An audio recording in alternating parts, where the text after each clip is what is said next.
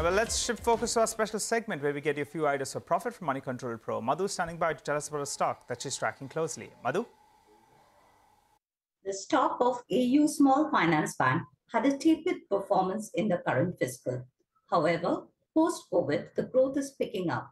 Interestingly, close to 94% of the book is secured, lending adequate comfort. Bank's deposit profile is improving, asset quality remains pristine, and AU is making the right kind of investment for the long haul.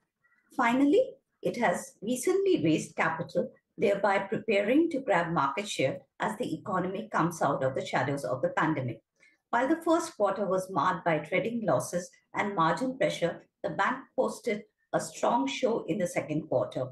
With all the ingredients in place for a successful journey, perhaps the optically expensive valuation is a dampener.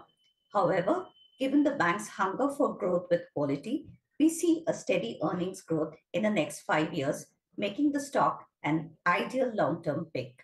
Moreover, the current valuation is at a discount to its IPO valuation of 2017.